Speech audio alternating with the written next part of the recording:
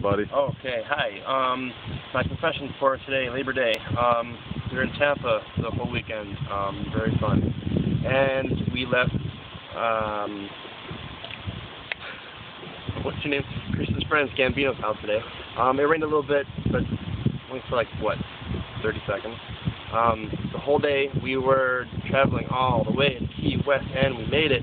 Had a couple stops to get some gas, but it, well, it went pretty well. Um, we stopped at a nice bar. What? Quit baking them drums. Sorry, joke. So, um, stopped at this uh, bar at uh, Magic Hat here in Key West. Wonderful place. I've been here once in my life. I was way too young to remember. All I know that my family went down here, and uh, the only thing I can remember is a hotel filled with gold, and we woke up and it was a huge bill. Anyways, we're here. We're going to go on the pier, drink some SoCo, and go to bed. And you suck at holding the other light.